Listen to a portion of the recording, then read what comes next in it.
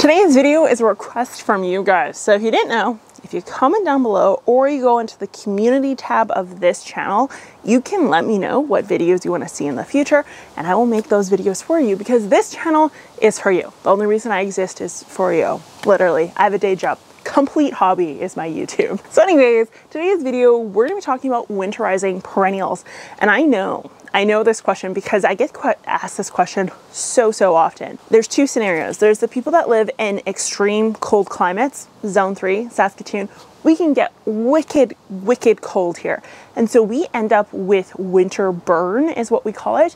And the other scenario is people that live in areas that have Chinooks or heavy levels of freeze thaw cycles, meaning we go from the depths of winter to basically spring, then back into the depths of winter. And this can cause so much damage to plants. So the question is, how do we overwinter plants in a climate that is always changing, is never the same, and we end up with winter kill of our beloved perennials? So today's video, we are going to be talking about exactly that. So I did a video last month, I don't know how many weeks ago, but it was on when to stop fertilizing your garden. And you want to stop fertilizing here in fall. People will say the contrary to that, but it's incredibly important in our cold climates to stop. The reason for this is new growth is more susceptible to disruption in from the freezing. And this can happen above ground growth, which we won't see much of this time of year. Below ground growth, however, particularly with perennials, we tend to see, we don't see, but the plant is doing a lot of in the fall. It's expanding its root biomass and fertilizer in any form, nitrogen, phosphorus, potassium, micronutrients, you name it, will expedite that growth, in particular nitrogen. And these new growths of roots tend to be more susceptible to winter kill. Now, the damage that can come from this will obviously stunt the plant long term, but it also can cause a enough damage that it will begin to rot and it will rot the, the roots inwards eventually potentially get to the crown and ultimately kill off your plant. So cut the fertilizer ASAP. If you didn't watch that original video, right now, stop, no more. So the next thing is whether or not to cut the plant back. Um, so there's arguments for and there's arguments against. So I scoured the interwebs to find people's arguments for it, to leave the debris in place. So the debris has critters in it that are beneficial, pea, uh, peas, bees, ladybugs, that sort of thing. Um, and then it's easy to see the perennials. Another really common one, actually, I have a master gardener that lives two, three doors down. He's a really nice man. Um, he always says, leave your, leave your debris in place, particularly the foliage type based ones. So things like hostas, for example, or ferns.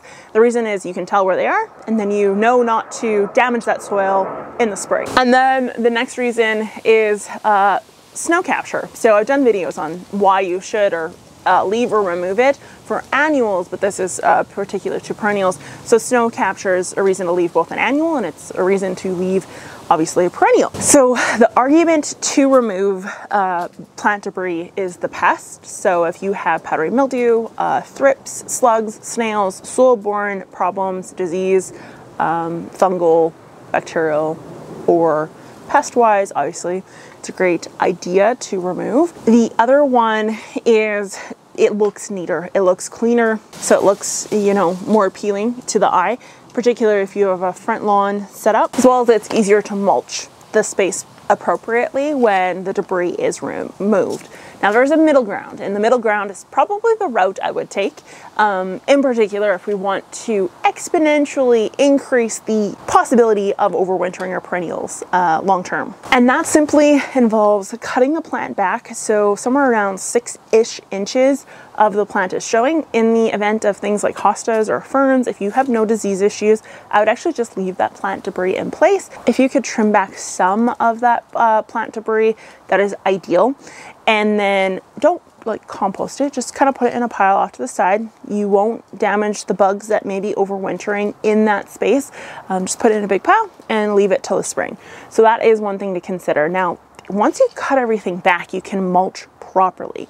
So if you have a plant that is more susceptible to winter damage, so if you have an azalea or um, hydrangea or roses, for example, then you can mulch. Now, your mulch is your next thing you want to look at. So, mulch is important, and the type of mulch you use is important. So, the type of mulch you choose wants to have a lot of either surface area or airspace.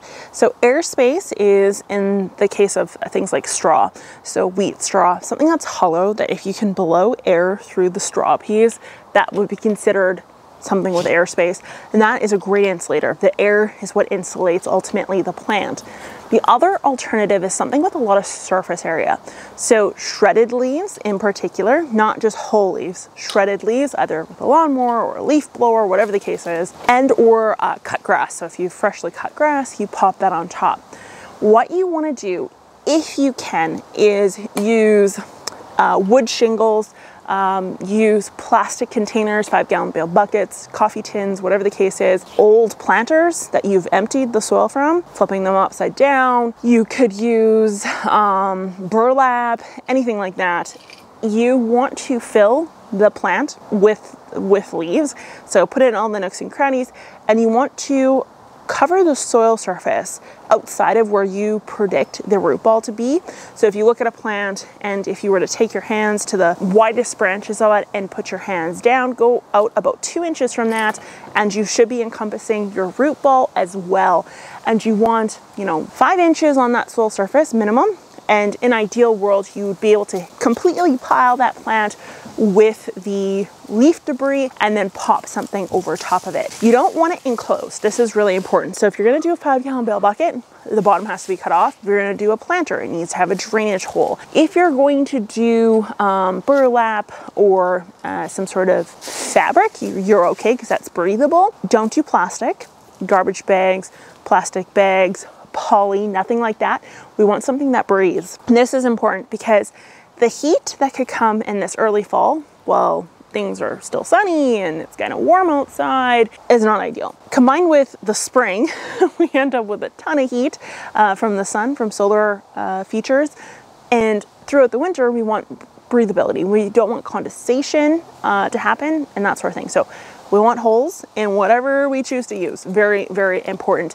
And you're just going to pile that into place. People with Chinooks in particular, you really want to make sure that root space is covered. So if you're going to go down the plant two inches out, maybe consider going an extra inch and then covering that with leaves at least five inches on that soil surface this is important. The reason for it is because you guys are more susceptible to heaving, and heaving, while it pushes the root ball out of the soil surface or out of the soil um, solution, I guess you could say, or the, the, the soil area profile, it also can really disrupt roots do a lot of pulling and ripping, which is incredibly harmful to the plant.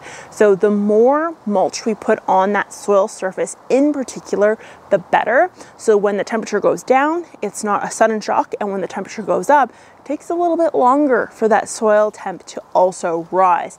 And this should, should save your plants from just early growth, which is harmful, um, along with sudden freezing, which is equally as harmful. Now the last tip is if you're in open space, so if you have plants in your front yard where there's lots of uh, street room, if you're on an acreage, a homestead, a farm, is to protect your plant from open spaces. Now this can come in the form of burlap. We commonly see burlap wrapped around evergreen type plants is to prevent the winter burn, which is not caused, common misconception is it's solely caused by the cold of winter, uh, which yes, the cold of winter is harmful, but the wind is equally as harmful, um, along with snow. So snow that hits uh, if it's in particular like a sleet snow or a wet snow, weighing down the branches and breaking said branches is harmful. And so burlap can actually prevent that. So wrapping the plant in burlap is an option. The other option, if you don't have that, is to put up a snow fence um, or some sort of blockage, a tarp, you name it. We want some breathability, so we don't want to use plastic. Again, no garbage bags or uh, poly but something that's breathable. So blankets, tarps, burlap are all acceptable. Panels of wood, kind of like a little box around the plant, also helpful. Um, and that would be in the case of things that are more in the open. If you have shrubs kind of in an enclosed environment that's, you know, protected by fences or trees or homes or buildings, this is maybe not as much of a concern unless you know wind really travels through that space. So that is something to look at as well. I personally, my evergreen plants are much, much too large to burlap, so I don't burlap them. Um, and this is more specific to baby plants. Once your plants get a little bit larger, we tend to not see that as, as often. So definitely something to look at there. Anyways, I hope you guys enjoyed this video on overwintering perennials. Good luck this year. I hope everything turns out in the spring. if you want to learn a video on how to overwinter perennials in containers, I will be doing that very, very soon. So stay tuned for that. Um, and comment, like, subscribe, and I will talk to you later. Bye.